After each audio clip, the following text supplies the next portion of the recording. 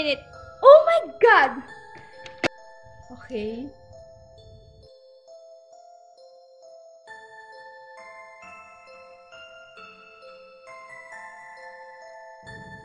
Diba yung tagal natin ito na pagkatalo dito?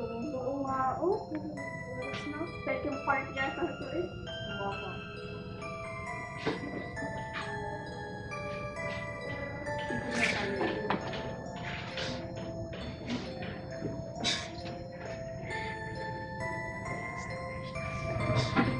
等一下等一下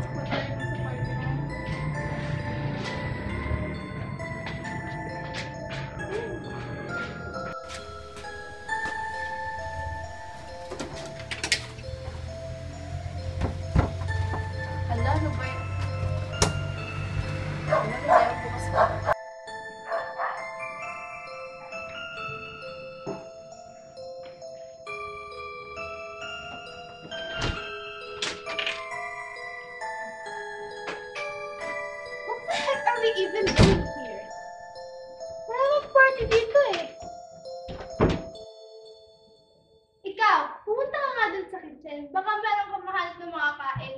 Para hindi tayo maboard dito. Go, go.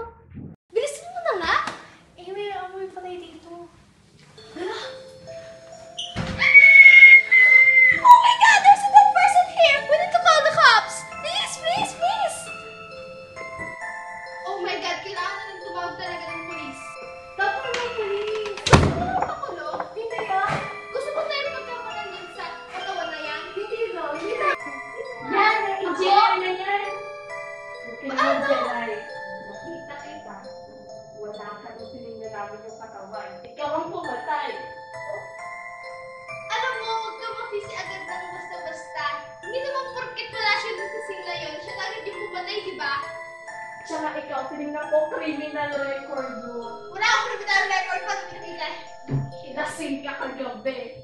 Porket kasing ako gagabi? Mas madami ako alam sa inyo. Kundi ako, nito.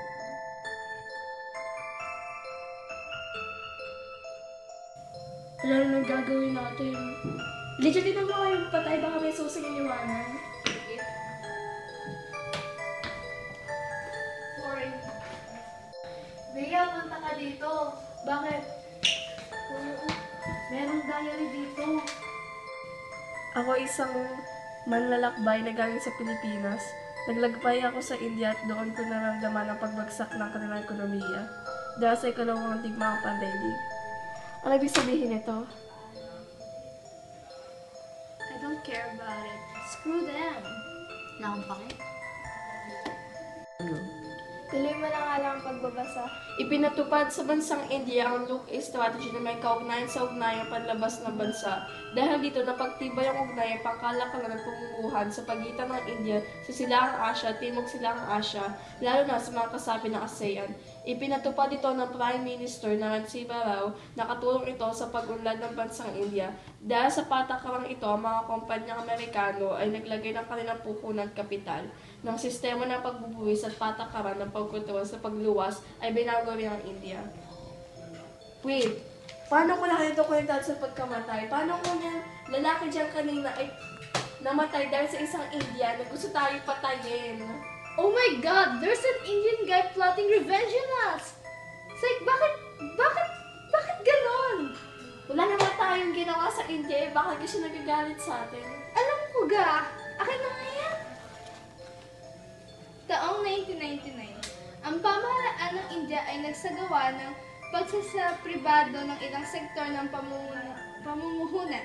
Dahil dito, ito ay pinahintulutan na ang pamumuhunan sa lahat ng industriyang pang-infrastruktura, kuryente, telecommunication, paliparan at maging sa sektor ng pananalapi.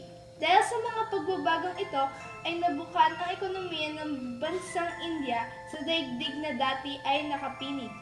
Ang pagluluwas na naman ang panlabas na pagkakautang ng bansa. Subalit nananatili pa rin suliranin sa bansa ang laganap na kahirapan at hindi pantay na pagsasahod kung ikukumpara sa ibang bansa. Oh my god, this is so cheesy. Ano yan? Nakatamad na magbasa. Ikaw na nga. That's so worthless. Inaantok talaga ako. Tumulog na nga tayo. It's like so late at night na.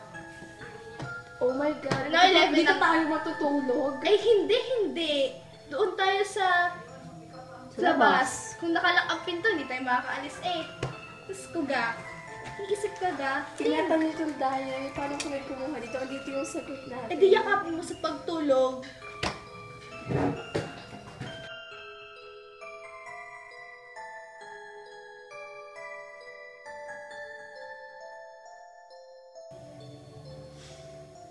Shucks ang baho. Trisha, ikaw ba yun? Baka ikaw, ha? Oh my God! Oh my God! Hoy, gising! Gising, gising. May letter was serious lang. Sino yung nagsulat nun? Kinapit pa sa akin. Sino yung nagsulat nun? Give it down. Ikaw na naman, engineer ka ha. Ikaw na naman, kilala ko sulat mo. Pero seryoso sino nagsulat nun? Pinagbatahin mo lahat kagabi. Sa kasulukuyang kalakalan ay pangatlong bansang India bilang pinakamalaking producer ng mga produkto pang teknolohiya. Marami din ang tumanggap ng technico, inhinyero at taga-disenyo na galing bansang India. Ito ang mga dahilan ng pag-unlad ng ekonomiya sa Asia. Ang nagtataguyod sa kanlurang pang-ekonomiya ng bansa ay ang pamahalaan tulad ng Japan kung saan ang Ministry of International Trade and Industry bilang ahensya ng pamahalaan pumipili ng mga industriya para umunlad ng bansa. Sa Korea naman, ang Chaebol ang nakatulong sa pag-unlad ng bansa dahil dito ito ay kalipunan ng maraming kumpanya na kadalasang may share o bahaging pag-aari sa isa't isa ang pagmamayari ay nasa kamay ng isang pamilya. Dahil sa pagkakuha ng otoridad ng ang pamahalaan na iigiit na sa... Anong sabihin nito? Basahin mo nga ito, Trisha. Naigiit ng pamahalaang Singapore. Singapore ang adhikain. Ito, oh. Adhika niya na sa paniniwala niya ay nakabubuti para sa kalayaang pang-ekonomiya ng kanilang bansa. Tulad ng mga Chino, ang pakikipag-ugnayan ay pinalaganap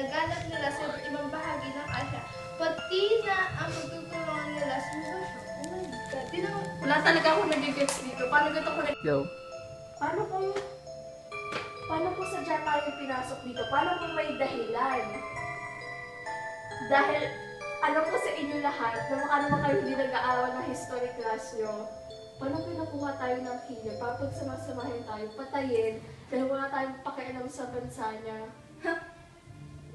kalokohan. Tingnan mo to ha. May nabasa ako sa part ng diary na yon na every day, every month pala, may kinukuha siyang badge ng mga tao, walang pakialam sa historia, pinapatay sila. Kailangan natin ipaalam sa kanya na nag-aaral naman tayo.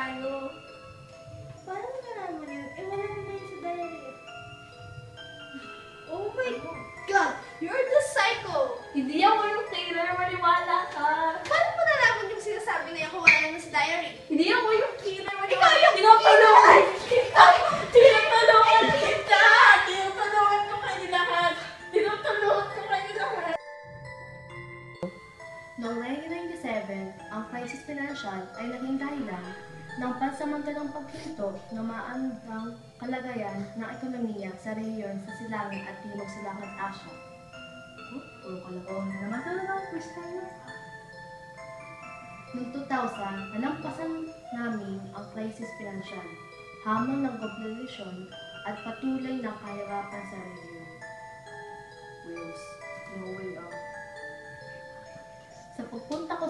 Bansa sa Timog at Kanlurang Asya, ang bansa na tagpuan ko ang, ang Saudi Arabia ay ang mangunang bansa na may taglay na malaking reserba ng mina ng langis at natural gas.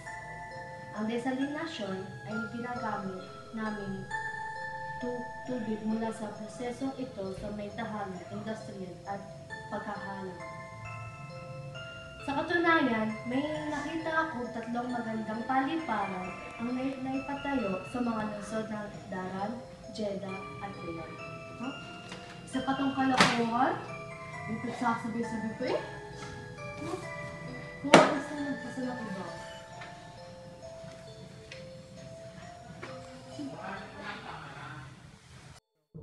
Ako'y lumakbay sa India at naramdaman ko ang pag-angat ng ekonomiya nito dahil sa paglaganap ng industrialisasyon sa mga pur- o urban nito. Natunghayan ko din ang pakikipagkalakalan ng India sa mga bansang Amerika at Japan, pati na ang natatag na komersya dito. Nalaman ko din na nakatutulong din pala sa pagtaas ng antas ng kabuhayan ng bansa ang mga Indian na nagtataglay ng mga kasanayan kailangan sa mga pabrika, industriya at mga korporasyon.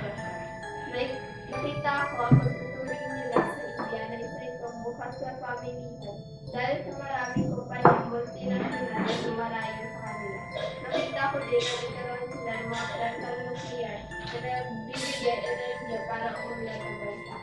Naglakbay naman ako sila sa Pakistan. Nagsisikap ang bansa na ito na magbigay sa mga tao ng pangunahing serbisyo gaya ng trabaho, kalusugan at edukasyon na nagdulot sa pagkakaroon ng mga batas at pamahalaan upang mabantayan ang mga pribadong sektor na nagbibigay ng serbisyo.